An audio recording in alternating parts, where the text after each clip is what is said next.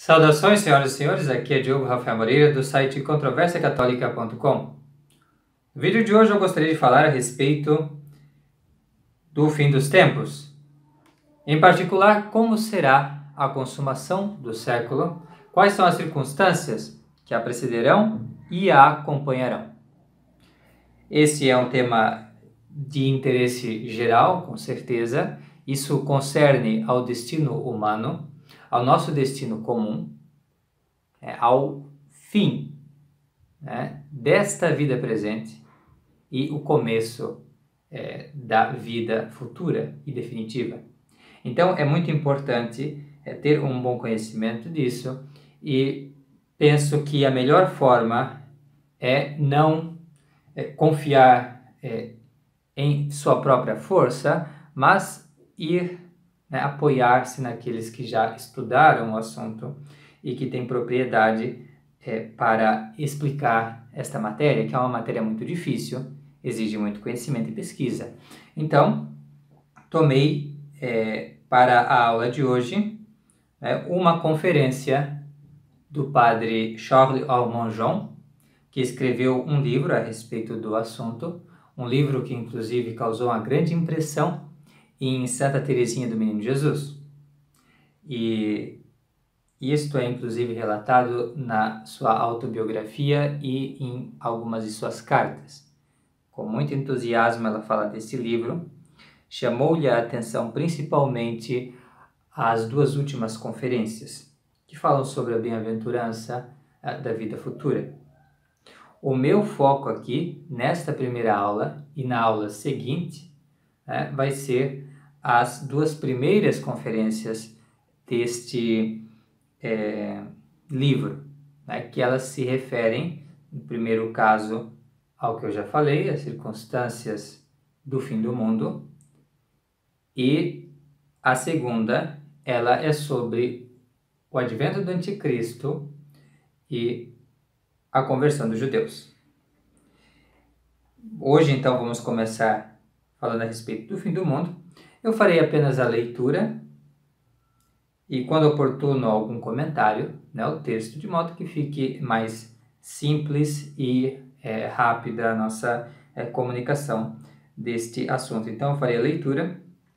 Eu vou disponibilizar esse texto no site também, então você pode é, ir para o site e ler na íntegra é o que estarei uh, lendo agora. Então, ele fala o seguinte. Na verdade, sou eu aqui resumindo o livro, né?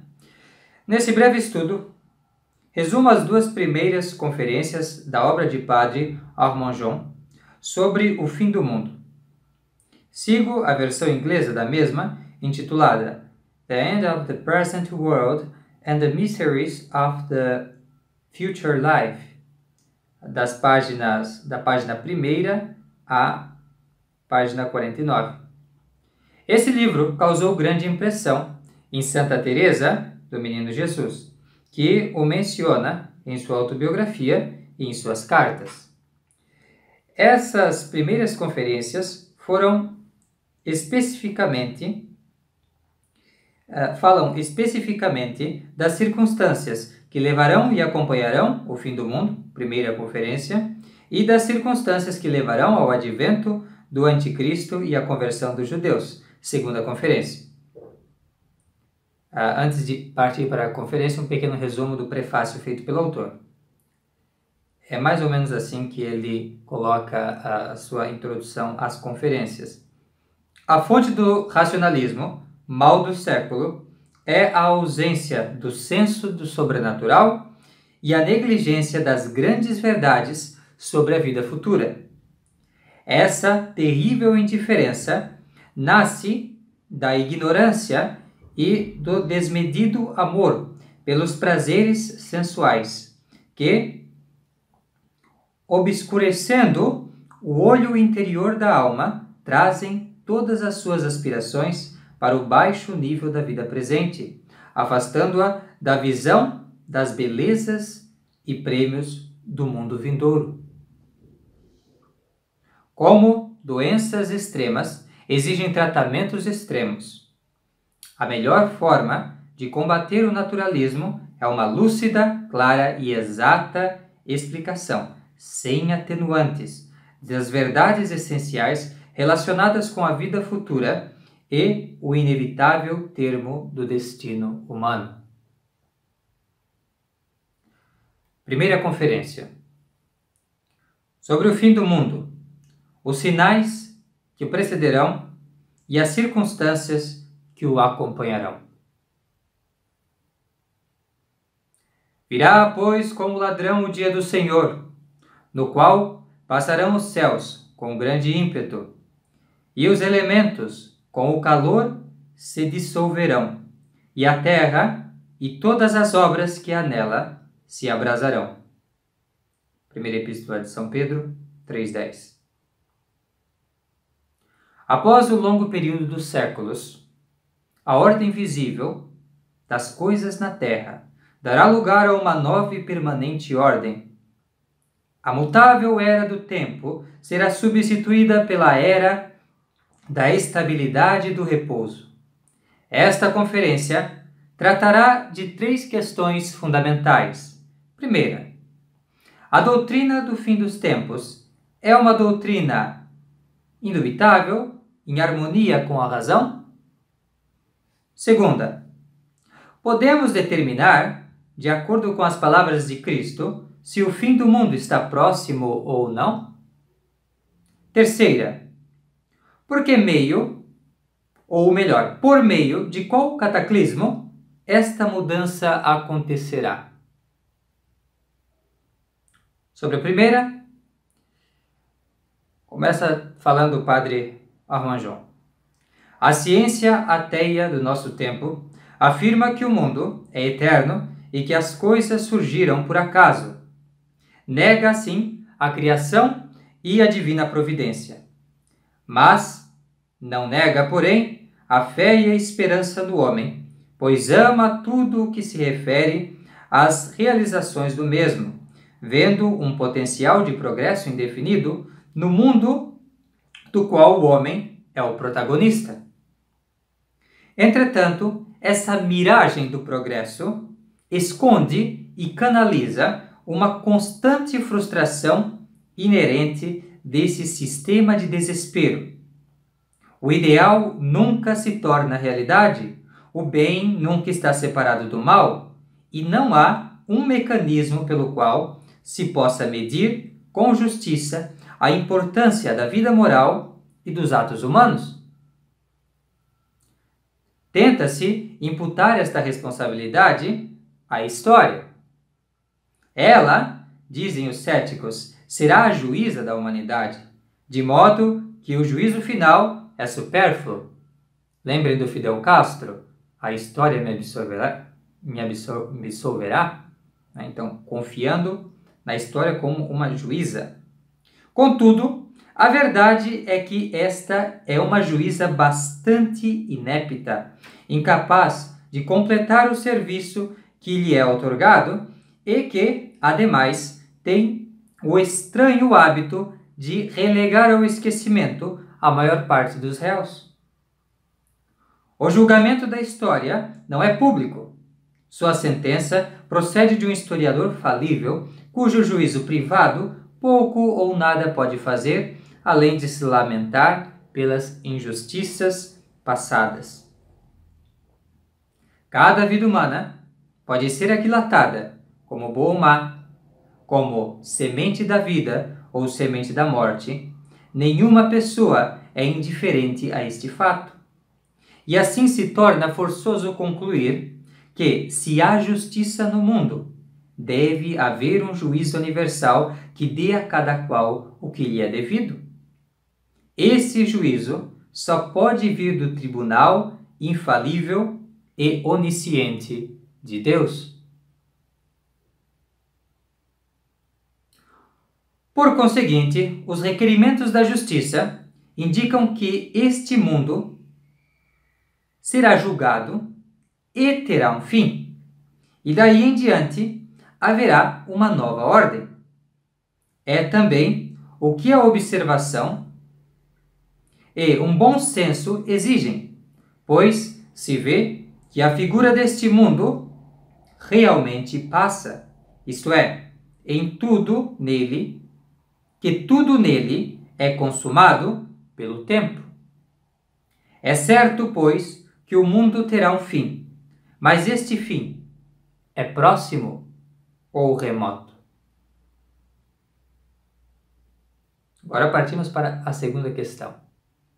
Notem que aqui, na primeira questão, ele falou como é razoável crer no julgamento final, juízo final, como é uma coisa aqui, um requerimento da justiça, e como também é um fato de observação, de razão e de bom senso, que este mundo passe. Um dia ele há de terminar, porque este mundo passa. As coisas envelhecem e acabam. Então são duas coisas que nós percebemos, nós temos consciência disso. E que, portanto, não contradizem a razão, mas pelo contrário, são corroborados com a razão. Há um senso de justiça né? e a percepção de que as coisas estão envelhecendo. O mundo já não é aquele mundo um tempo atrás. Aquele campo que antes era fértil já não é tão fértil. As coisas mudam, o tempo passa e a figura do mundo passa com o passar do tempo. E, então, primeiro ponto foi feito. Agora vamos entender a questão da data do fim do mundo. Cristo não precisou a data do fim do mundo, mas consentiu em dar seus em dar sinais definidos e indicações a fim de nos deixar saber que o cumprimento das profecias está próximo. Jesus procede com a humanidade como um todo do mesmo modo que procede com indivíduos. A morte é certa, mas não se sabe quando ela virá. E embora possamos ser pegos de surpresa em qualquer momento, geralmente há sinais que tornam manifesta, eh, que tornam manifesto que a hora da morte se faz eminente e que seria uma vã ilusão pensar em nossa vida é, que, que nossa vida se estenderia por mais longos e longos anos aqui embaixo. Em Mateus capítulo 24, Cristo aponta como sinais guerras, fomes, tormentos, terremotos. Por si, esses sinais são bastante vagos, ocorrendo em maior e menor grau em todas as épocas da história. Porém, eles são apenas o começo das dores. Ec autem omnia initia sunt dolorum. Tais sinais não são suficientes para se formar uma firme conclusão de que o fim dos tempos está próximo, pois mesmo as calamidades públicas e revoluções sociais de nossa época encontram precedentes na história. Entretanto, as calamidades e revoluções do fim dos tempos serão de caráter público, pertencendo à ordem religiosa e social. Elas não poderão ser ignoradas pela humanidade. Essas calamidades são constituídas por três grandes sinais. Muita atenção aqui. Primeiro, o Evangelho deve ser pregado em todo o mundo. Mateus 24, 14. Segundo, a aparição do homem do pecado, o anticristo. Segundo a Epístola aos Tessalonicenses, capítulo 2, de 2 ao 4. Terceiro, a conversão dos judeus, que reconhecerão o Senhor Jesus Cristo e o adorarão como Messias prometido. Carta de São Paulo aos Romanos, 11, 14 e 17. Nesta conferência será tratado unicamente do primeiro sinal, isto é, o Evangelho já tendo sido pregado em todo o mundo. Quanto a ele, alguns padres dizem que uma conversão parcial seria o bastante, enquanto a maioria mantém que a profecia deve ser entendida em um sentido mais estrito. Cornélio Alapide entende que este sinal somente se concretizará quando a igreja tiver exercido toda a sua influência sobre toda e cada uma das nações bárbaras, o que significa que todas as nações devem experimentar o esplendor da pregação apostólica com todo o brilho inerente de sua legislação, solenidades e hierarquia. Esse último pensamento parece mais em conformidade com o testemunho da Sagrada Escritura, com a sabedoria e misericórdia de Deus e com os modos da providência, que não faz acepção entre os povos e chama a cada um a seu tempo para o conhecimento de sua lei salutar. Nesse sentido, é preciso admitir que, como uma matéria de fato, a Ásia Central, a África Equatorial e muitas outras partes do mundo ainda não receberam a pregação do Evangelho em seu esplendor. Feita esta observação, o padre Armand João menciona os seguintes textos da Escritura. Porquanto do Senhor é o reino, e ele mesmo reinará sobre as gentes. Salmo 21, 29. Diante dele se prostrarão os da Etiópia, e os seus inimigos beijarão a terra. Os reis de Tarsis e as ilhas lhe oferecerão dons. Os reis da Arábia e de Sabá lhe trarão presentes. Salmo 71, 9 e 10. Alegra o sítio, alarga o sítio de tua tenda e estende as peles dos teus pavilhões, e não te poupa nada. Faze compridas as tuas cordas e segura as tuas estacas, porque tu te alegrarás para a de, tu te alargarás para a direita e para a esquerda, e tua posteridade terá por herança as gentes e povoará as cidades desertas. Não temas, porque não serás confundida nem envergonhada, porquanto não terás de que te afrontar, pois te esquecerás da confusão da tua mocidade, e não te lembrarás mais do opróbrio da tua viuvez. Isaías 54, 2 a 4. Será chamado o Deus de toda a terra. Isaías 54, 5.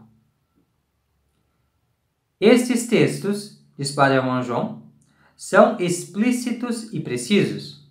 É claro, a partir desses testemunhos, que haverá em tempo, perdão, que haverá um tempo em que todas as heresias e cismas serão superados e a verdadeira religião conhecida e praticada por todos, em todos os lugares, iluminados pelo sol. Página 10. Depois disso virá um tempo em que a humanidade estará mergulhada na mais profunda indiferença religiosa. Os pensamentos sobre o castigo e a justiça divina estarão muito longe da mente dos homens. A divina misericórdia terá esgotado todos os seus recursos. O anticristo já terá aparecido sobre a face da terra. Os homens de todo o mundo já foram chamados para o conhecimento da verdade e a igreja já floresceu na plenitude de sua vida e fecundidade pela sua última vez.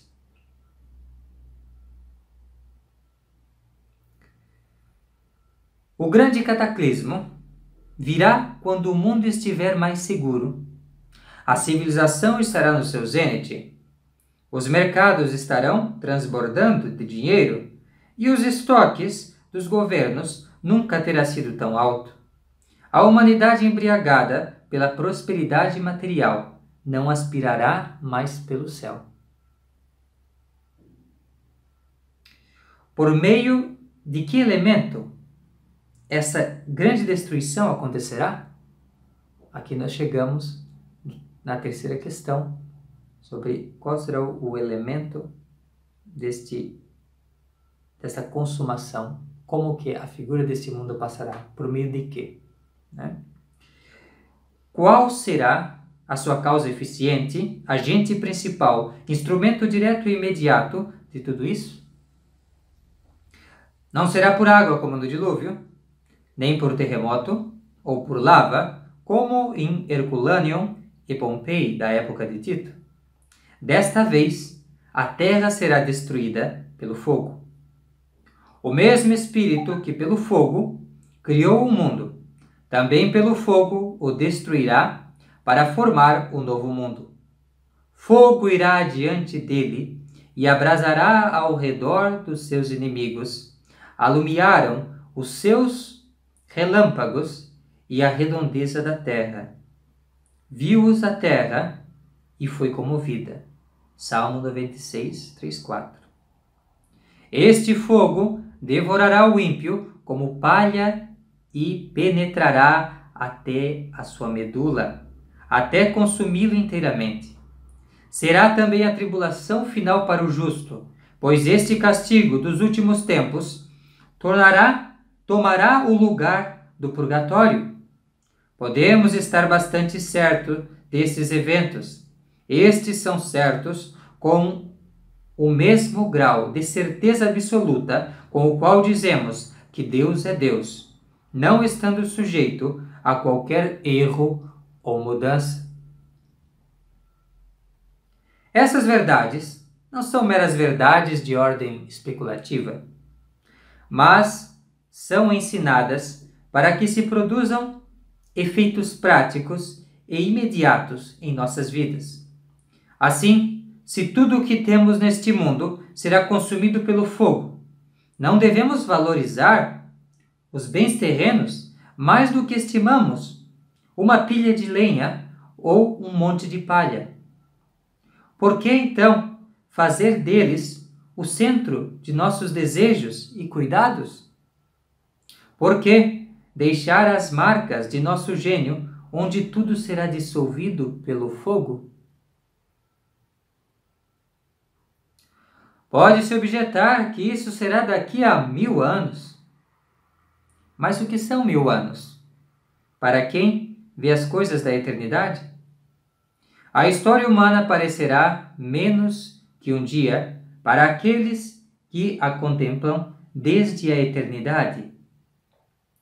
Miles anni ante oculos tuos, tanquam dias externa preterit. Porque mil anos aos teus olhos são como o dia de ontem que passou. Salmo 39, 4. Cristo mesmo insiste que devemos meditar sobre essas coisas e que o fim dos tempos nos tomará de surpresa e acontecerá antes do que imaginamos. Por prope est iam Dominus. Joel 1,15. Abdias 1,15. O Senhor está próximo. O dia do julgamento é iminente. Assim pensaram os grandes santos e doutores da Igreja, como São Jerônimo, São Gregório, São Bernardo e São Vicente Ferrer. Naquele tempo terrível da consumação dos séculos, nada mais distinguirá o homem senão a virtude e o mérito. O justo que ouviu as recomendações dos apóstolos, observando os mandamentos de Cristo e sua igreja, sairá vitorioso do meio deste caos sem precedentes. Este será o triunfo do bem sobre o mal. Que este seja o nosso destino. Amém.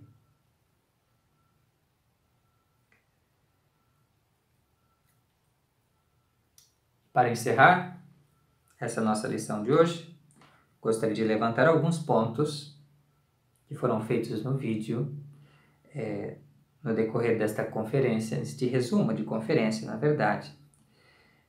E são pontos para serem guardados. É aquilo que nós temos que levar para casa, guardar no coração.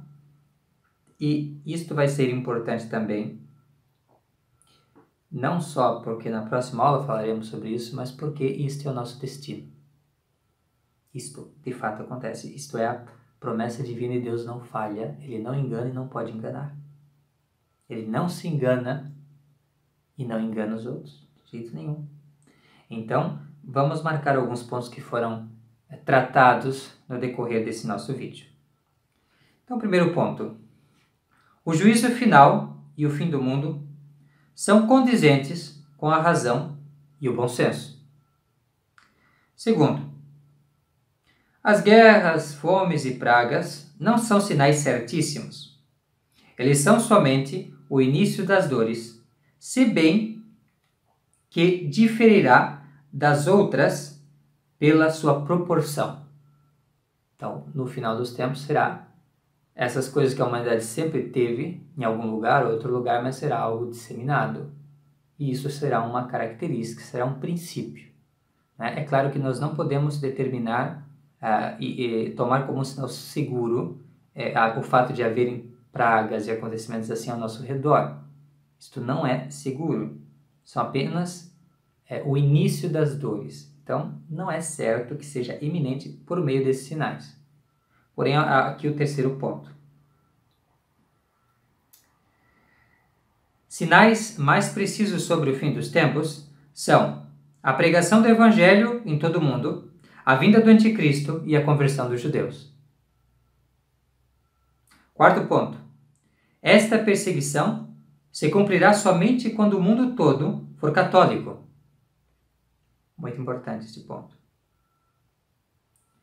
Quinto. O elemento que dissolverá o mundo presente será o fogo. Tudo o que nós estamos vendo aqui. Este vídeo que eu estou fazendo tudo. Sei eu. Será dissolvido pelo fogo. O que sobrar de nós neste mundo, os nossos rastros, tudo, será consumido pelo fogo. Naquele dia, no último dia do mundo. É isso que nos aguarda. E naquele tempo, somente o justo estará seguro, como diz o Dias Irae. Somente o justo. E é isto o que fará a diferença naquele dia. Se você foi um justo ou se você foi um ímpio. Então procuremos trabalhar na grande obra de nossa salvação e na obra de salvação do nosso próximo também. Procuremos fazer isso com seriedade, porque este é certamente nosso destino. Um dia estaremos ali e nós precisamos estar prontos. Muito obrigado por ter assistido esse vídeo. Espero você na nossa próxima aula, que será sobre o anticristo e a conversão dos judeus. Muito obrigado, fique com Deus e até mais. Tchau, tchau.